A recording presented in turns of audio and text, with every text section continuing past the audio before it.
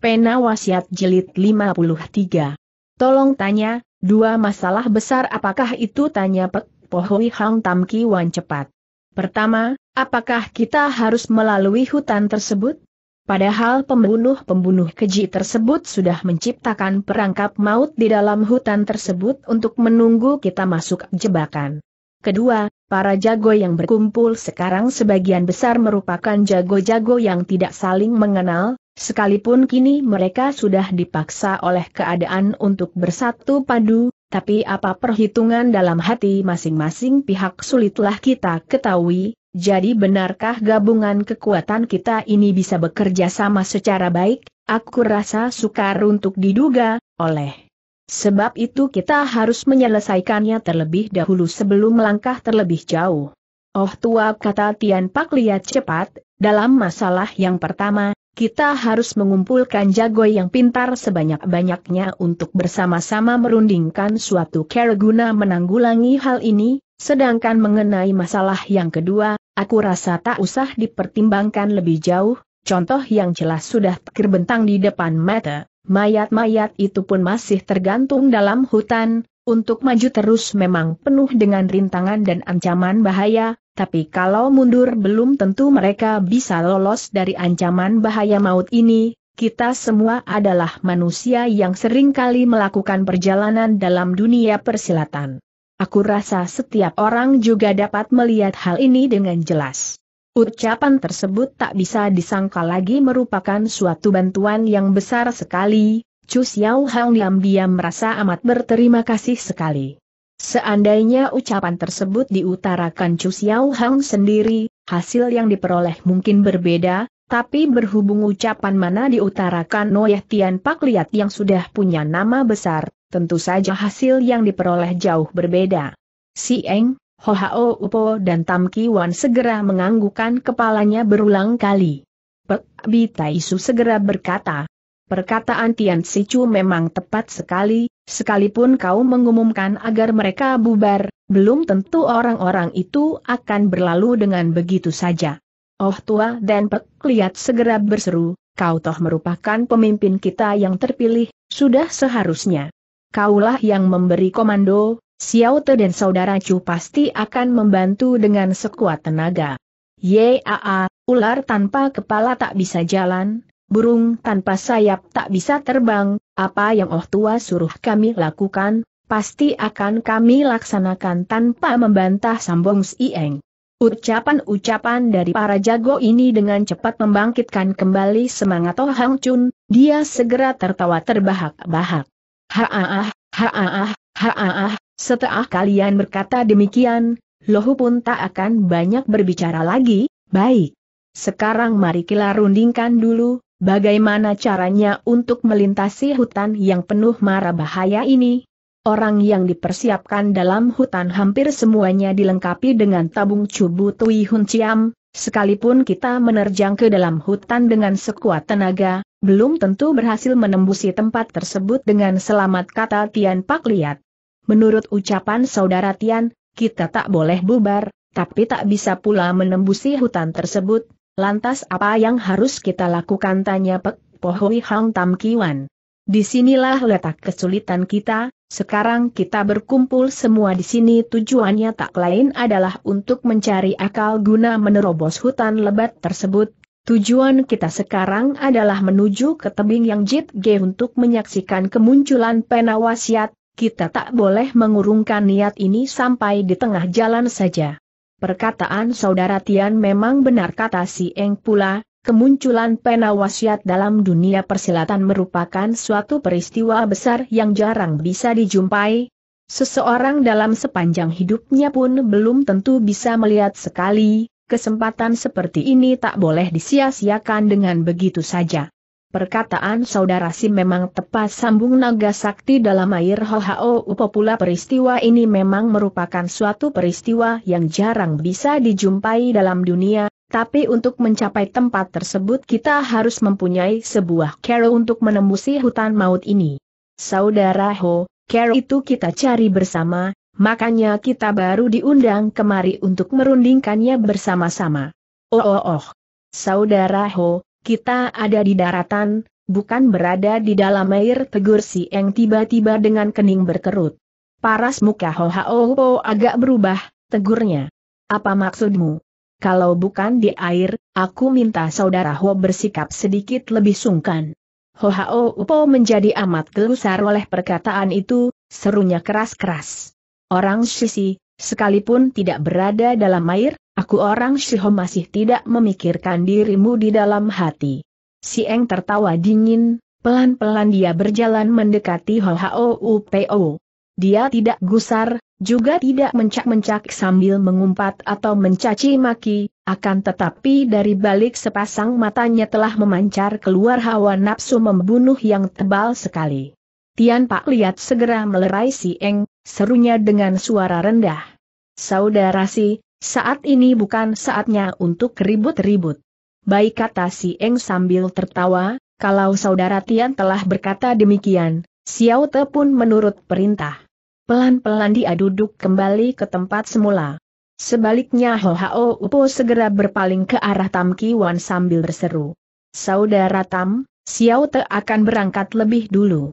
Ho Hao Heng kata Oh Hang Chun sambil menggeleng, dalam pasukan air terdapat 17 orang saudara yang mati hidupnya menjadi tanggung jawabmu, apa sih gunanya gara-gara sepatah kata saja lantas ribut sendiri dan ingin pergi duluan.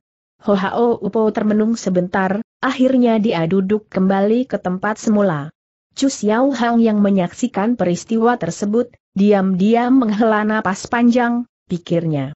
Dunia persilatan memang penuh dengan persaingan, apalagi jika main usia dengan nama besar yang hampir sejajar berkumpul menjadi satu, kalau bukan kau menghina aku, aku memandang sinis kepadamu, masing-masing ingin menunjukkan pendapatnya sendiri tanpa bermaksud untuk mengalah.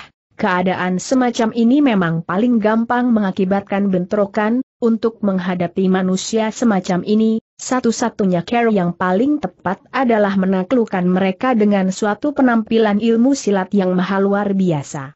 Dalam pada itu, Oh Hang Chun sudah berkata lagi saudara sekalian mempunyai pendapat apa untuk menerobosi hutan maut tersebut para jago saling berpandangan muka dan membungkam dalam seribu bahasa. Chu Xiao Hang segera berkata, Bo Ampu sih mempunyai sebuah cara, cuma tidak ku ketahui bisa dipakai atau tidak. Tanda petik. Coba kau katakan. Dalam pasukan Bo Ampu terdapat beberapa buah tameng, Bo Ampu berkeinginan untuk mengajak mereka untuk bergerak di paling depan dan membukakan jalan bagi kalian semua. Baik, soal membuka jalan, Xiao Te turut ambil bagian seru Tian Pak lihat cepat, kita toh sudah diangkat sebagai pemimpin pasukan, tentu saja tak boleh ketinggalan dalam hal ini, Xiao Te juga ikut sambung si Eng dengan cepat.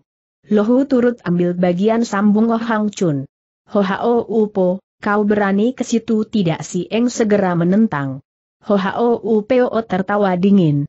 HMM, asal tempat itu berani dikunjungi oleh si Eng, kenapa aku tak berani pula ke situ? Baik. Mari kita pergunakan musuh sebagai sasaran kita untuk mengadu kepandaian, Coba kita buktikan kepandaian siapakah yang jauh lebih unggul di antara kita berdua. Akan kulayani kehendakmu itu sampai di mana saja. Tam Kiwan yang selama ini membungkam, segera ikut buka suara. Setelah kalian semua mengambil keputusan untuk pergi, tampaknya mau tak mau Xiao Te juga harus ikut. Seandainya nasib kalian kurang beruntung dan tewas di tangan musuh, yang lain tak usah pergi ke situ lagi seru si Eng menambahkan.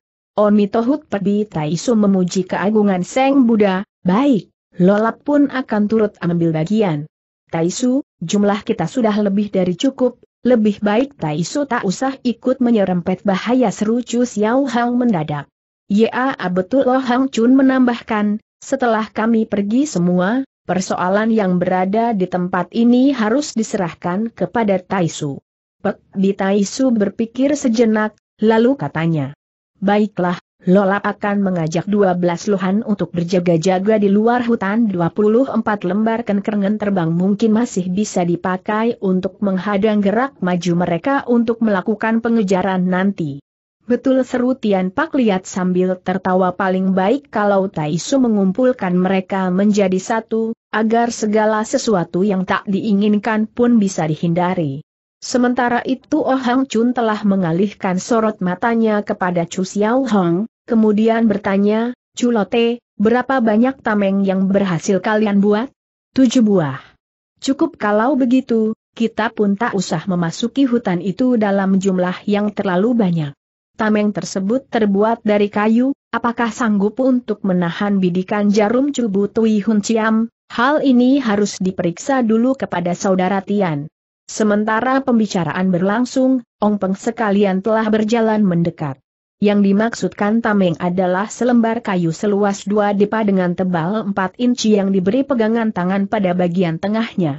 Tameng ini terbuat dari kayu jati tua dan keras kata Ong Peng menerangkan. Sesuatu dengan bentuk aslinya yang kita rubah sedikit. Terwujudlah bentuk seperti ini, entah cocok digunakan atau tidak, Tian Pak lihat mengambil tameng tersebut dan disentil beberapa kali, kemudian katanya. Kalau dilihat dari tebal kayu memang sudah cukup, hanya sayang kelewat berat sedikit. Oh Hang Chun segera mengambil pula sebuah tameng dan diayunkan ke sana kemari, setelah itu dia berkata, asal tidak sampai ditembusi jarum cubucia musuh, loh rasa tameng ini bisa dipakai. Oh tua kata Chu Xiao Hang kemudian, sekarang kita harus menghitung dulu, siapa-siapa yang ditugaskan memasuki hutan. Lohu termasuk nomor satu, kata Oh Hang Chun. Tian Pak lihat segera menyambung. Si Eng, Tam Kiwan, Ho Hao Upo, ditambah lagi dengan Culote dan aku, semuanya berjumlah enam orang.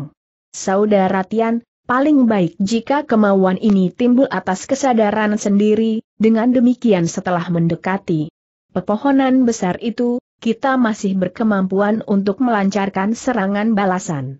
Tian Pak lihat tertawa.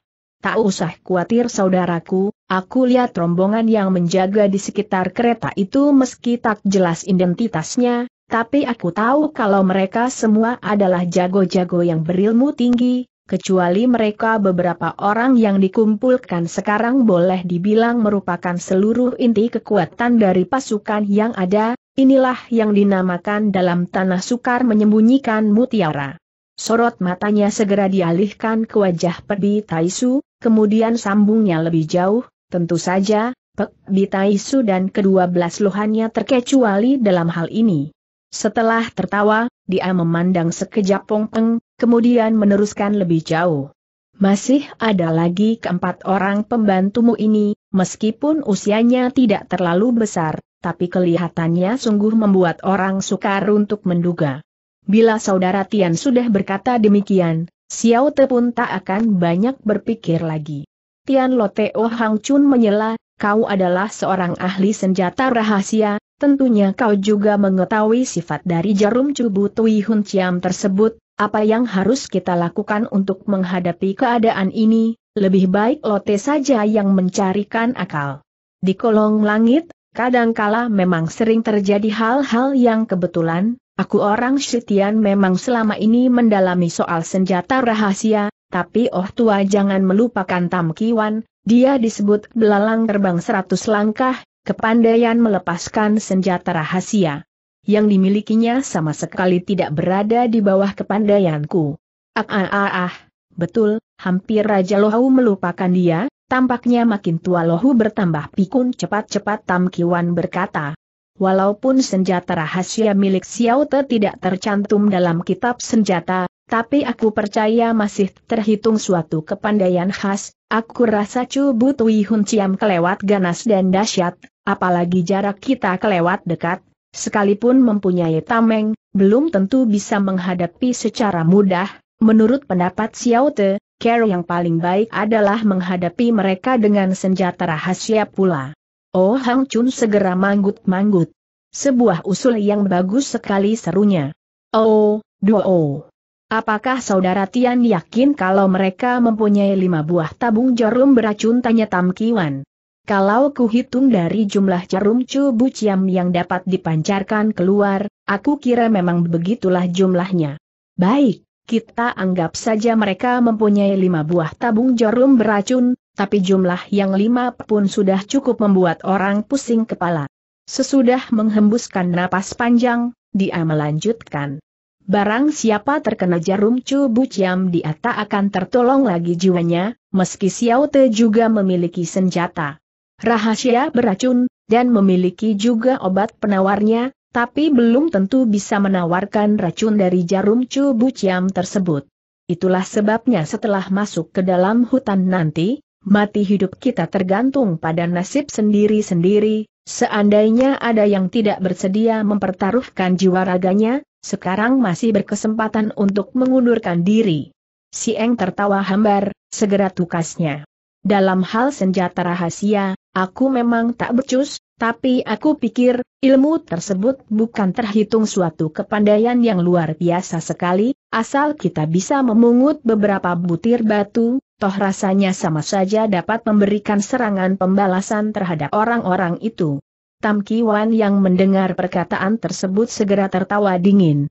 Setelah masuk ke dalam hutan dan berada di bawah ancaman jarum cubu ciam, kau baru akan tahu bahwa beberapa butir batu tersebut belum dapat dipakai untuk menghadapi musuh, mari kita berangkat. Agaknya dia dan si Eng selalu saja saling sindir menyindir, saling unggul mengungguli, siapa pun tak mau mengalah terhadap yang lain. Begitu selesai berkata, ia lantas menyambar sebuah tameng kayu dan berangkat lebih dulu menembusi N di antara beberapa orang itu, sebetulnya orang yang paling tak ingin memasuki hutan untuk menyerempet bahaya adalah Oh Hang Chun, tapi dia adalah pemimpin yang dipilih dari kelompok sekian banyak manusia, sebagai seorang pemimpin tentu saja dia tak bisa mengundurkan diri dengan begitu saja. Terpaksa sambil mengeraskan kepalanya dia ikut pula menerobos masuk ke dalam hutan. Selama ini Chu Xiao Hang jarang sekali berbicara, tapi setelah masuk ke dalam hutan, dia segera berjalan di barisan paling depan. Tian Pak lihat yang menyaksikan hal itu, buru-buru maju ke depan mendampinginya, kemudian ujarnya sambil tertawa. Lote, persoalan ini menyangkut soal keselamatan jiwa, kau harus bertindak lebih berhati-hati. Saudara Tian, bagaimanapun juga toh harus ada satu dua orang yang berjalan di paling depan, siapakah orang itu kalau bukan diriku? Kalau begitu anggap saja kita sebagai pelopor jalan. Tapi toh tak usah berjalan kelewat cepat seru Tian Pak lihat kemudian sambil tertawa lebar. Chu Xiao Song tertawa hambar. Saudara Tian, apakah kita sudah memasuki wilayah radius yang bisa dicapai dengan bidikan jarum beracun cubu cilam? Saudaraku, pembidik-pembidik jarum beracun cubu ciam itu merupakan orang-orang hidup, siapa tahu mereka sudah bergerak maju lebih ke depan? Sementara pembicaraan berlangsung, mendadak terdengar Tam Kiwan membentak keras, kemudian tangannya diayunkan ke depan, Selapis cahaya tajam dengan cepat menyambar keluar dengan amat cepatnya. Kemudian secepat kilat dia menyembunyikan diri ke belakang sebatang pohon besar untuk menyelamatkan diri. Cahaya tajam itu dengan kecepatan luar biasa segera meluncur ke depan dan menyerang ke balik rimbunnya dedaunan dari sebatang pohon besar di sisi jalan kecil. Dengusan tertahan segera berkumandang memecahkan keheningan, dua orang manusia segera roboh terjengkang dari atas pohon itu. Berbareng itu juga, sebatang jarum cubu ciam segera disembur keluar dari balik rimbunnya dedaunan di atas pohon tersebut. Ternyata apa yang dikata Kamtian Pak lihat memang benar, pembunuh-pembunuh yang bersembunyi di dalam hutan tersebut telah menggeserkan posisi mereka jauh lebih ke depan. Tampak dedaunan bergoncang keras, Tampaknya ada manusia yang sedang melarikan diri dari situ. Menyaksikan kesemuanya itu, Tian Pak lihat segera berbisik dengar suara lirih. Sungguh berbahaya sekali. Seandainya mereka membidikan jarum cubu ciam itu sedetik lebih awal, niscaya kita semua sudah tewas di ujung jarum cubu ciam tersebut. Aneh, dari mana Tam Kiwan bisa tahu kalau di atas pohon tersebut bersembunyi para pembunuh seru Chu Xiao Hang kemudian? Sebagai seorang ahli di dalam melepaskan senjata rahasia, biasanya dia akan memiliki semacam daya tangkap yang luar biasa tajamnya, tentu saja jauh berbeda jika dibandingkan dengan orang-orang biasa. Oh oh oh titik. Mendadak ia menemukan di sisi kedua sosok mayat yang tergeletak itu terdapat sebuah tabung jarum cubu ciam. Tidak sempat memberi tanda kepada Tian Pak lihat lagi, mendadak dia melompat ke depan dan menerjang ke muka dengan kecepatan luar biasa. Hati-hati! Tian Pak lihat segera berteriak keras. Dengan tameng kayu melindungi badan, dia segera berguling ke depan sana. Sementara itu Chu Xiao Hang telah menyambar tabung jarum beracun Chu Buciam itu kemudian menggunakan tameng kayunya untuk melindungi badan dan menyusup ke balik sebatang pohon besar. Tampak cahaya perak berkilauan tajam, empat batang jarum Chu Buciam telah menyambar ke depan. Jarum-jarum perak tersebut dengan cepat menancap di atas tameng kayu dari Chu Xiao Hang, Sementara itu Tian Pak lihat yang sedang memburu ke muka, segera menyambar sesosok mayat, kemudian menggelinding pula ke belakang pohon besar di mana Chu Xiao Hang berada. Setelah menghembuskan napas panjang, Chu Xiao Hang segera berbisik lirih, Saudara Tian, aku telah berhasil mendapatkan sebuah tabung jarum beracun sambil berkata tabung itu segera diangsurkan ke depan. Tian Pak lihat tertawa. Asal kita sudah memiliki sebatang tabung jarum beracun cubuc yang berarti kita dapat memberikan perlawanan terhadap serangan mereka. Katanya. Dari dalam saku jenazah tersebut, dia mengambil keluar sebuah bungkusan kain putih, di dalam kain putih tersebut tersedialah ratusan batang jarum panjang. Sambil tertawa kembali Tian Pak Liat berkata, Benda ini dinamakan kantung jarum, Seandainya kita hanya memiliki tabung jarum belaka, mungkin hal tersebut belum merupakan suatu ancaman yang menakutkan buat mereka. Sesudah menghembuskan napas panjang, kembali dia melanjutkan. Tabung jarum beracun ini kau yang temukan, tentu saja benda ini menjadi milikmu, tapi apakah Culote tahu cara penggunaannya? Xiao Te tak bisa. Kalau begitu mari kuajarkan kepadamu. Dia lantas memberi petunjuk kepada Chu Xiao Hang bagaimana cara mempergunakan tabung jarum beracun itu serta bagaimana caranya mengisi jarum beracun itu ke dalam tabung. Setelah mendapat petunjuk mana Chu Xiao Hang segera berkata, Saudara Tian, aku rasa lebih baik kau saja yang mempergunakan tabung jarum beracun Chu Buciam ini. Tidak. Aku pun menyediakan banyak macam senjata rahasia, Aku tak membutuhkan tabung jarum tersebut, asal senjata rahasia sudah berada dalam tanganku, aku yakin senjata mana bisa ku lepaskan secara jitu. Chu Xiao Hang segera menerima tabung itu seraya berkata kemudian, kalau begitu terima kasih banyak atas petunjukmu. Dalam pada itu, Oh Hang Chun dan Si Eng dengan perlindungan tameng kayu telah berhasil pula mendekat. Oh Hang Chun segera mendongakkan kepalanya, dan memandang sekejap ke atas pohon besar di mana musuh menyembunyikan diri, kemudian pelan-pelan ujarnya. Tian Lote, apakah di atas pohon masih ada musuh sulit untuk dijawab, tapi menurut perasaanku, permainan busuk mereka sudah pasti bukan cuma. Demikian, siapa tahu di dalam hutan luas ini mereka telah mempersiapkan jebakan lainnya. Betul dukung Chu Xiao Hong, Pandanganku persis seperti pandangan saudara Tian, kemungkinan besar di dalam hutan ini masih terdapat alat jebakan lainnya. Dalam pada itu, Pek Pohui Hang Tam Ki Wan serta Sui Tiong Sin Leong Ho Hao Upo telah berdatang pula ke situ. Sambil berpaling, Tian Pak lihat segera memuji, Saudara Tam, sergapanmu tadi benar-benar indah.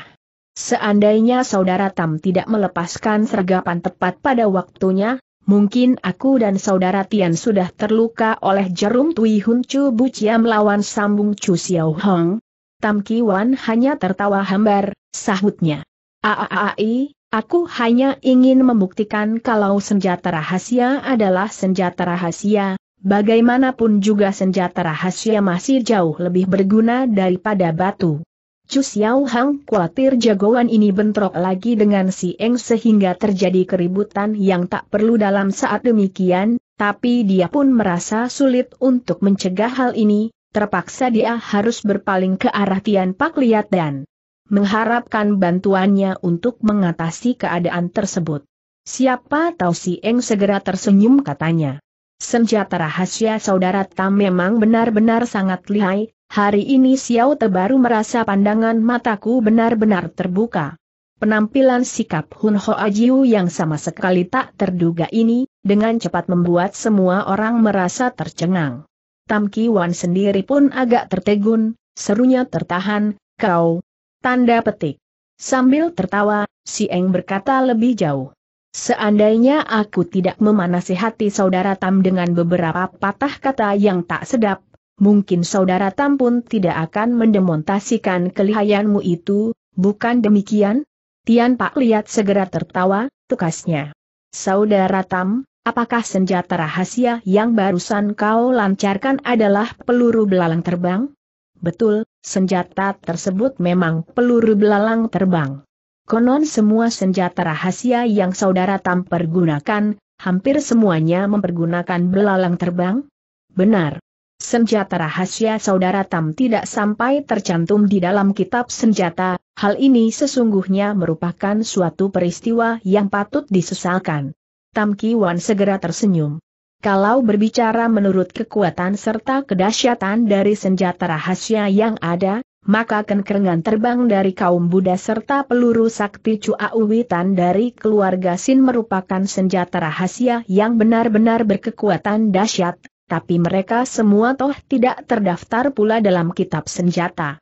Benar juga perkataanmu, yang dimaksudkan sebagai senjata rahasia, seharusnya makin rahasia semakin baik, dengan begitu orang lain baru tak akan menduga sama sekali. Sementara itu si Eng telah mencabut keluar sebatang peluru sepanjang 3 inci dari dalam tubuh maya tersebut. Bedanya adalah peluru-peluru perak ini dua bagian sayap kecil di bagian belakang tubuh yang mungil. Sambil tertawa kembali si Eng berkata, Saudara Dan, apa gunanya dua buah sayap kecil di atas peluru kecil tersebut dan apa bantuannya untuk senjata rahasia ini?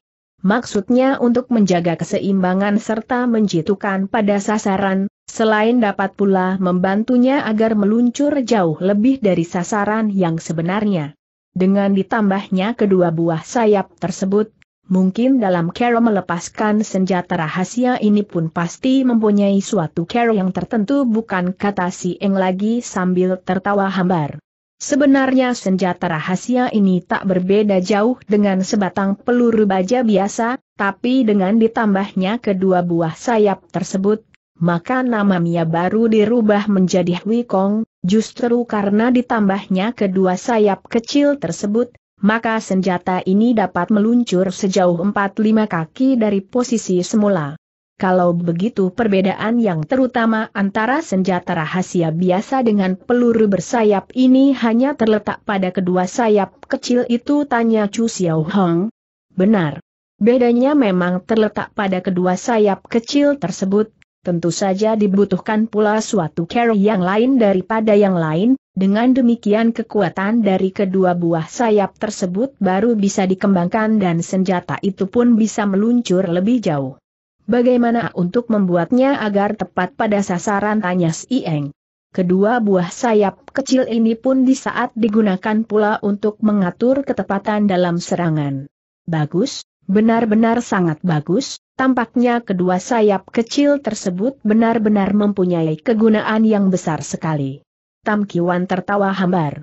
Bila senjata rahasia diberi sayap maka senjata tersebut bisa mencapai suatu jarak yang amat jauh dan tak mungkin bisa dicapai oleh senjata rahasia lain, cuma dalam senjata rahasia bersayap belum pernah ada peluru bersayap, sebab senjata rahasia ini merupakan hasil ciptaanku sendiri setelah mencobanya selama bertahun-tahun, hari ini pun baru ku coba untuk pertama kalinya.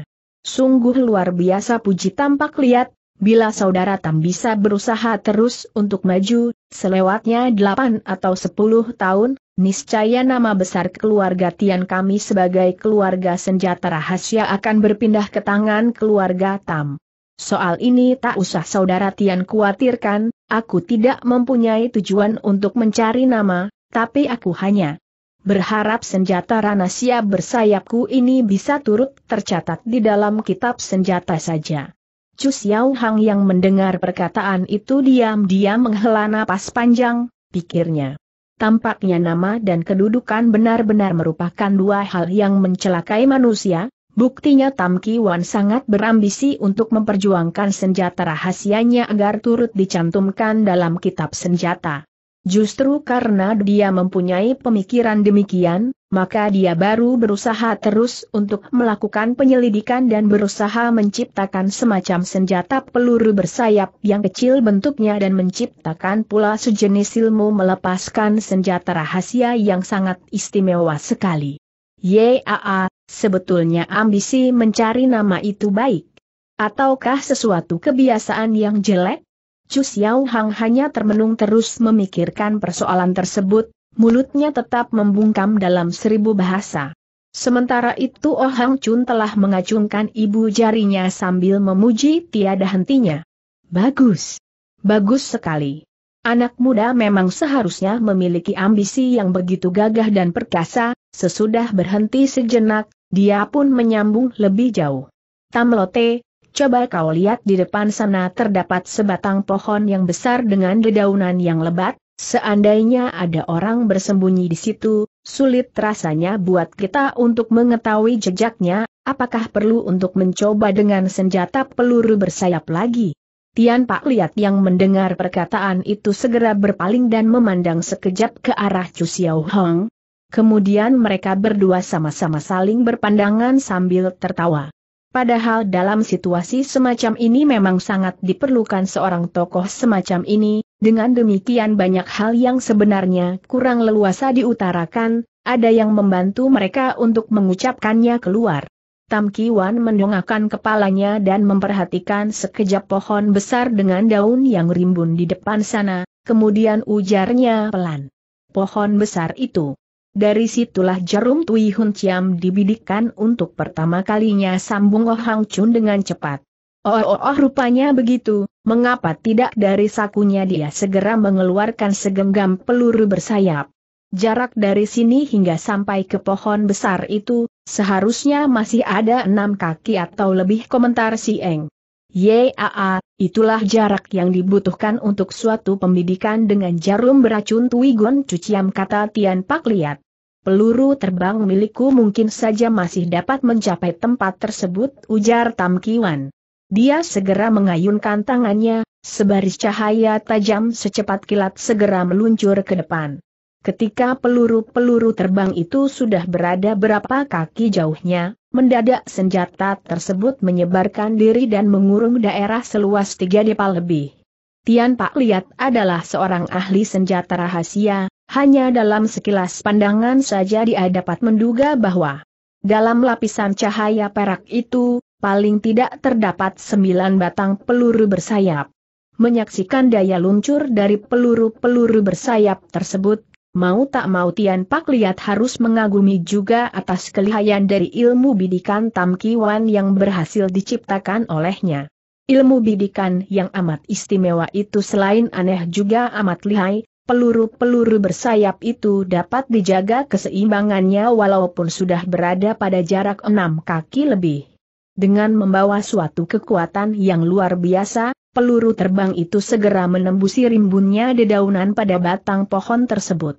Beberapa kali jeritan ngeri yang memilukan hati segera berkumandang memecahkan keheningan, ada dua orang manusia terkena bidikan itu dan terjatuh ke bawah. Betul-betul muncul seorang enghiong muda, ilmu menyambit senjata rahasia yang amat hebat, Kepandaian yang luar biasa Oh Hang Chun segera memuji tiada hentinya.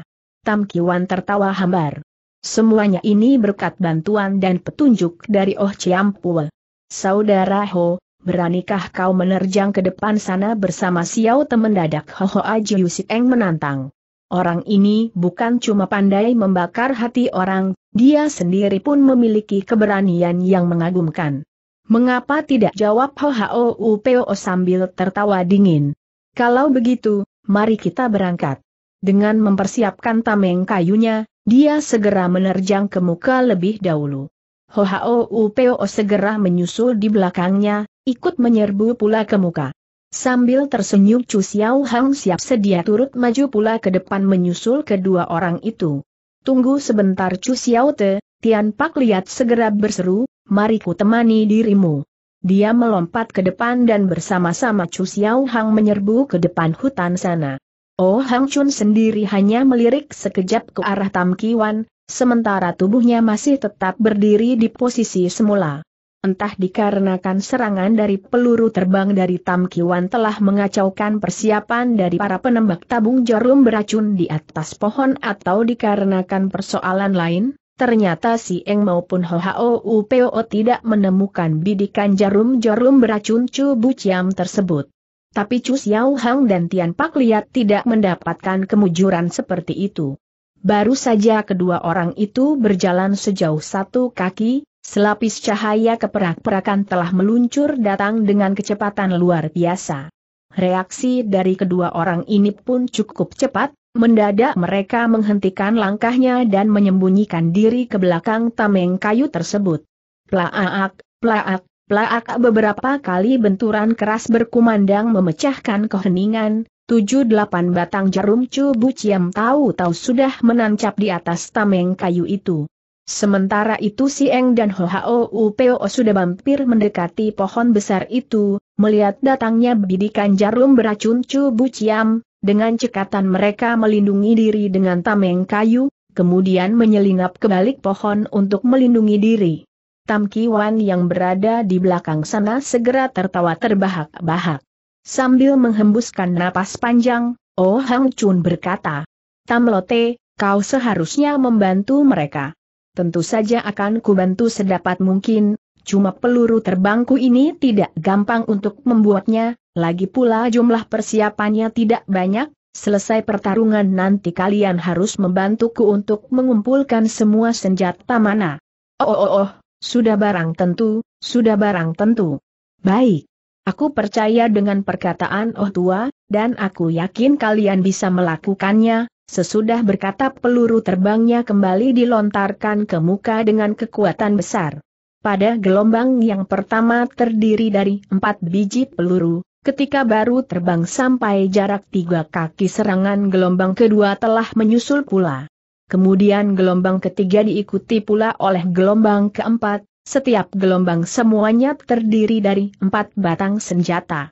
Peluru-peluru bersayap itu dengan amat cepatnya meluncur ke arah pohon besar itu dan menyusup ke balik dedaunan yang lebat.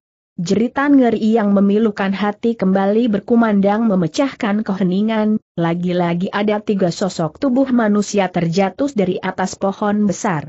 Benar-benar peluru bersayap yang amat lihai puji Oh Hang Chun tiada hentinya. Sementara itu, Chu Xiao Hang yang bersembunyi di belakang pohon mendadak melompat ke tengah udara lalu menerjang ke bawah pohon besar tersebut. Saudara Chu, hati-hati Tian Pak lihat segera berseru. Menyusul teriakan itu dengan suatu lompatan cepat dia pun menyusul ke depan. Ketika tubuhnya masih berada di tengah udara, mendadak dia melepaskan dua batang panah pendek, sebatang pisau emas dan segenggam jarum perak ke arah pohon besar tersebut. Akibat dari serangan senjata rahasianya itu, dua orang manusia kembali terjatuh dari atas pohon besar. Tampaknya pembidik-pembidik di atas pohon hanya pandai menggunakan tabung senjata jarum beracun tersebut, sedang ilmu silatnya tidak begitu lihai.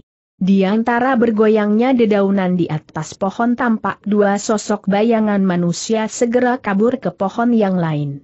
Mendadak Tian Pak lihat melompat lagi kemudian tangan kanannya diayunkan ke depan, dua batang pisau perak sekali lagi meluncur ke udara dengan kecepatan tinggi. Senjata semacam ini lebih berat bentuknya, tapi lebih gampang untuk mengarah sasaran, dan lagi jarak bidikannya juga lebih jauh daripada keadaan biasa. Dua batang pisau perak itu meluncur ke depan saling menyusul, tapi tiba pada sasaran hampir bersamaan waktunya. Secara telak sekali pisau terbang itu menghajar sasarannya, terdengar dua kali jeritan ngeri yang memilukan hati berkumandang memecahkan keheningan, Tiba-tiba saja dua orang itu terjatuh ke tanah dan tewas. Dengan cepatnya Chu Xiao Hang menyimpan tabung jarum beracun itu ke dalam saku. Tian Pak lihat berhasil pula menemukan dua buah tabung jarum beracun dari atas tanah. Sambil melompat turun dari pohon. Chu Xiao Hang berkata, dari atas pohon dan di bawah pohon, semuanya terdapat tujuh sosok mayat. Empat batang tabung jarum berhasil pula kita tambahkan, sekalipun ada yang berhasil lolos, paling banter juga hanya satu dua orang, dengan sebatang tabung jarum. Yaa, dalam pertarungan kali ini, seluruh pasukan mereka berhasil kita sikat sampai ludes kata Chu Xiao Hang tertawa. Dalam pada itu, Oh Hang Chun, Tam Kiwan, Sieng dan Ho Hao Upeo telah berdatangan semua. Saudara Tian Sieng segera berseru, dua batang piaumu betul-betul hebat, meski dilepaskan dari tengah udara, nyatanya tiada yang meleset. Mendadak Tam Kiwan tertawa dingin. Oh tua, apa yang telah kau sanggupi tadi, lebih baik jangan dilupakan dengan begitu saja, serunya. Oh Hang Chun terperanjat, segera serunya. Aku telah menyanggupi apa? Tapi kemudian setelah berhenti sejenak dan melanjutkan, Oh betul, betul, betul, Lohu sudah teringat sekarang setelah berhenti lagi sejenak, katanya lebih jauh. Culote, tadi waktu kalian berada dalam ancaman bahaya maut, Lohu suruh Tamlote melepaskan dua batang peluru bersayap untuk membantumu, cuma dia bilang peluru bersayap adalah semacam senjata rahasia yang dibuat secara istimewa, bikinnya susah, maka. Tanda petik. Maka apa tiba-tiba saja dia membungkam dalam seribu bahasa. Tentunya dia tak akan menyuruh kami untuk memungutnya kembali bukan? Justru Tamlote bermaksud demikian kata Oh Hang Chun dengan cepat. Kali ini para semuka Tian Pak lihat, Ho Hao Upeo sama-sama berubah hebat. Jelas perkataan ini telah membangkitkan amarah semua orang, tapi mereka masih tetap berusaha keras untuk menahan diri. Ketika Oh Hang Chun menyaksikan situasi telah berubah menjadi serba kaku, buru-buru dia berseru, Chu Xiaote, menurut pendapatmu bagaimana untuk menyelesaikan persoalan ini? Kalau ingin makan tomat, memang jangan pilih yang keras, pilihlah yang agak lunak. Aku rasa sudah sepantasnya bila kita membantu saudara tamu untuk memungutinya kembali sahut Chu Xiao Hong. Seraya berkata dia membalikan badan dan berjalan ke depan. Si Eng termenung dan berpikir sebentar, kemudian katanya pula. Andai kata saudara Tam tidak melepaskan senjata rahasianya tepat di saat yang kritis, kita semua mungkin sudah terluka di ujung jarum cubu ciam tersebut, kalau memang peluru bersayap itu tidak gampang pembuatannya, aku pikir memang sayang kalau harus terbuang dengan percuma. Yaa, benar juga perkataan ini, selanjutnya kita masih bisa bertemu lagi dengan jarum cubu ciam, peluru bersayap memang tak boleh terbuang dengan sia-sia sambung Oh Hang Chun pula. Dengan demikian Tian Pak Liat maupun Ho Ho Apo menjadi sungkan untuk menampik, terpaksa mereka pun ikut memungut. Tak selang berapa saat kemudian, mereka telah berhasil mengumpulkan 30 batang lebih. Hal mana sebaliknya malah membuat Tam Kiwan menjadi rikuh sendiri, buru-buru dia menjura sambil berseru berulang kali. Ah ah, merepotkan saudara saja. Setelah menyimpan kembali peluru bersayapnya, Tam Kiwan segera berpaling ke arah Oh Hang Chun seraya berkata, Begini saja, kita telusuri terus hutan ini sampai ke depan sana, coba diperiksa apakah masih ada jebakan lain atau tidak, Xiao Te sebagai si burung bodoh biar terbang lebih dulu. Selesai berkata, dia lantas berjalan lebih dulu meninggalkan tempat tersebut. Aku akan bertindak sebagai pelindung saudara Tam seru Chu Xiao Hang cepat. Selesai berkata, ia segera mengikuti di belakang Tam Kiwan. Ternyata di dalam hutan sudah tidak dijumpai jebakan lagi. Tapi Chu Xiao Hang mengerti, otak yang sebenarnya dari peristiwa ini sudah mengundurkan diri dari situ, walaupun jebakan mereka di sini gagal, namun jebakan yang lebih hebat lagi pasti sudah dipersiapkan di belakang sana. Namun hal mana tak sampai diutarakan keluar. Begitulah, Oh Hang Chun segera memimpin para jago lainnya menembusi hutan dan melanjutkan perjalanan ke depan, belasan li sudah lewat, sementara senja pun sudah menjelang tiba. Setelah adanya pelajaran kali ini, para jago bertindak jauh lebih berhati-hati lagi. Sebelum matahari tenggelam, Oh Hon Chun telah memilih sebuah tanah lapang untuk beristirahat. Lima rombongan membentuk diri dalam barisan lima unsur, masing-masing menempati posisi menurut bentuk Engkau Heng dan melakukan penjagaan yang sangat ketat. Oh Hang Chun beristirahat di dalam pasukan tanah yang dipimpin oleh Chu Xiao Hong. Yang dimaksudkan sebagai beristirahat tak lebih hanya berkumpul di sebuah tanah lapang, ada yang melepaskan jubah panjangnya yang diletakkan di atas rumput untuk berbaring. Orang-orang seperti mereka ini bisa minum arak dengan cawan besar, makan daging potongan besar, tapi dapat pula makan angin menahan lapar, oleh sebab itu kehidupan macam begini dalam dunia persilatan, sesungguhnya bukanlah suatu hal yang tak bisa ditahan oleh setiap orang. Tapi bagi Oh Chun yang merupakan manusia punya nama dan punya kedudukan, hal ini merupakan suatu siksaan yang sudah banyak tahun tak pernah dialami lagi. Kim, Bok, Sui, Hwee, Toh, masing-masing menempati lima posisi yang berbeda. Seng Tiong Gak dengan membawa kereta kuda itu berkumpul menjadi satu dengan Pedi Tailu serta dua belas orang lohannya. Atau lebih tegasnya lagi, orang itu memisahkan diri menjadi tujuh kelompok. Dari setiap kelompok tersebut, masing-masing mengutus dua orang manusia untuk melakukan penjagaan di empat penjuru. Seng Tiong Gak juga mengutus orang, tapi hanya berjaga-jaga di atas kereta mereka.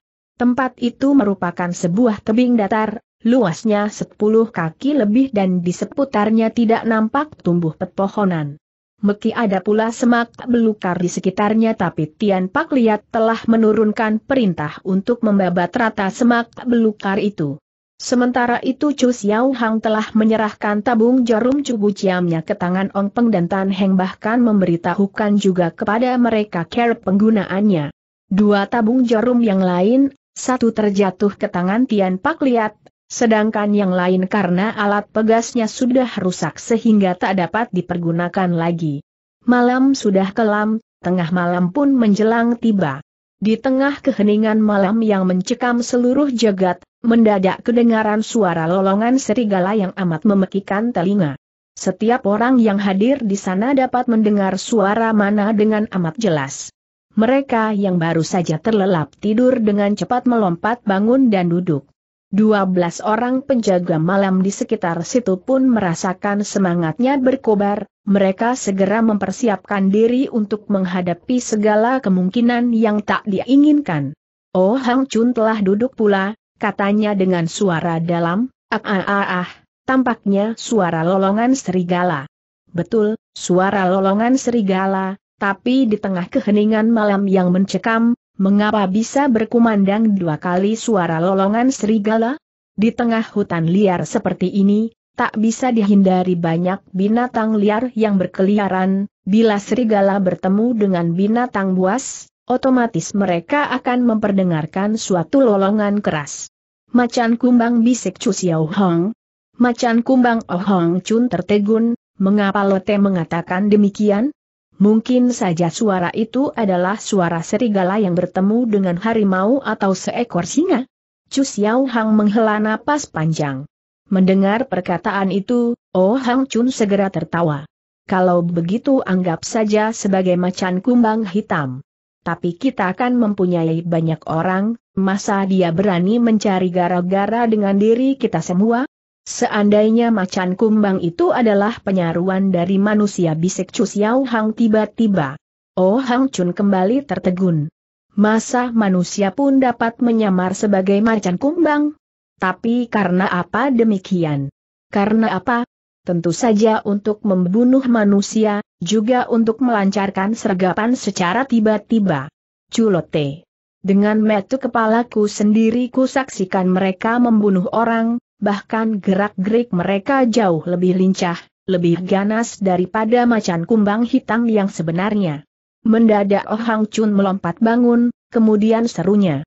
Masa dalam dunia persilatan terdapat kejadian seperti itu mengapa Lohu belum pernah mendengarnya? Oh tua, mereka amat misterius seperti juga manusia yang melepaskan serangan dengan jarum beracun Cu Buciam tersebut. Oh oh oh.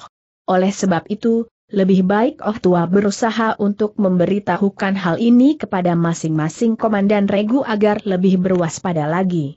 Oh Hang Chun termenung beberapa saat lamanya, kemudian berkata, Aku merasa sulit untuk berbicara, andai kata sampai salah. Tak bakal salah, kau tak perlu khawatir sekali lagi Oh Hang Chun termenung sampai lama sekali, kemudian ia baru berkata, Baik, aku akan memberitahukan hal ini kepada mereka. Selesai berkata dia lantas beranjak pergi dari situ. Tak selang beberapa saat kemudian, Oh Hang Chun telah berjalan kembali, katanya sambil tertawa, mereka benar-benar mempercayai perkataan itu. Apa yang mereka katakan? Sewaktu aku memberitahukan kepada mereka bahwa hati-hati dengan serangan macan kumbang hitam yang besar kemungkinan disaru oleh manusia, dengan cepat mereka menurunkan perintah untuk mempersiapkan diri secara lebih ketat. Setelah berhenti sejenak, bisiknya lagi dengan suara lirih. Mereka berjaga-jaga di sebelah timur, barat, utara dan selatan, sehingga pasukanmu berada di tengah, kau tentu boleh beristirahat dahulu. Mendengar itu, sambil tertawa Chu Xiao Hang segera menukas. Oh tua, tahukah kau, macan kumbang hitam yang pintar selalu akan menyerang ke bagian tengah lebih dulu. Oh Hang Chun menjadi tertegun sesudah mendengar perkataan ini, serunya tertahan, ah ah ah ah, masa ada kejadian seperti ini? Oh tua, apalagi mereka adalah manusia, mereka adalah macan-macan kumbang hitam yang jauh lebih menakutkan daripada macan kumbang hitam yang sebenarnya. Tiba-tiba Oh Hang Chun tertawa. Culote, tampaknya kita benar-benar terhitung cukup mujur. Maksudmu? Manusia-manusia seperti Tian Pak Liat, Si Eng, Ho Hao Upo dan Tam Ki Wan adalah manusia-manusia lihai yang sangat jarang bisa ditemui dalam dunia persilatan, Sungguh tak disangka mereka bisa mencampurkan diri ke dalam kelompok manusia seperti ini, yang lebih hebat lagi mereka bersedia untuk menampilkan diri dan memimpin kelompok-kelompok jagoan tersebut, ditambah pula kau, meski tidak punya nama, tapi dalam ilmu silat, kecerdasan serta keberanianmu sedikit pun tidak berada di bawah keempat orang itu. Apa pula Pedi Taisu beserta kedua belas lohon dari Xiao Lim Si juga hadir di sini, loh rasa kekuatan yang sekarang kita miliki ini sesungguhnya sudah cukup untuk membentuk suatu kekuatan baru dalam dunia persilatan.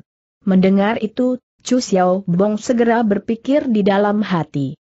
Tampaknya, perasaan mencari nama telah membuat timbulnya ambisi yang berkobar-kobar dalam hatinya untuk berjuang lebih ke atas. Berpikir demikian, dia lantas berkata, apa yang oh tua katakan memang benar, aku pun mempunyai perasaan demikian, namun kalau dilihat dari kesediaan semua orang untuk menuruti di bawah komando oh tua, hal ini pun disebabkan nama serta kedudukan oh tua dalam dunia persilatan. Oh Hang Chun termenung beberapa saat, lalu katanya, setelah menyaksikan kemampuan yang kalian miliki, Hal ini membuat Lohu mempunyai suatu perasaan yang amat besar, yakni Yang Hyong tetap muncul dari kaum muda, terus terang saja, keberhasilan dari kalian beberapa orang. Muda sangat mengagumkan hati Lohu, sedang mengenai Pedi Taisu, nama serta kedudukannya di dalam dunia persilatan pun sepuluh kali lipat lebih hebat dariku, tapi dia kelewat jujur, Lohu sendiri mengerti aku tak lebih hanya lebih tua dari kalian, Bila aku dibilang memiliki kelebihan, maka kelebihanku itu pun tak lebih hanya bisa mempersatukan pendapat dari kalian di dalam hal ini memang kau memiliki kelebihan yang tak bisa dilampaui oleh siapa pun. Pada saat itulah, mendadak dari arah sebelah timur kedengaran seseorang membentak keras. Siapa? Menyusul kemudian, berkumandang jeritan kaget. Ah macan kumbang hitam. Oha, betul-betul macan kumbang hitam pekik Oh Hang Chun dengan terperanjat. Ayo berangkat, cepat kita melihat keadaan di sana. Oh Hang Chun segera bangkit berdiri dan menerjang keluar dari tempat tersebut. Chu Xiao Hang menyusul pula di belakangnya. Bu Seng Xiong dengan membawa toya besinya, juga berlarian menyusul ke depan. Yang berjaga di sebelah timur adalah pasukan kayu. Pada waktu itu, seluruh anggota pasukan telah terbangun, dan 19 anggota pasukan hampir semuanya telah meloloskan senjata tajam masing-masing. Hun Hoa Jiu Sieng dengan membawa dua orang lelaki bersenjata golok, berjaga di bagian muka.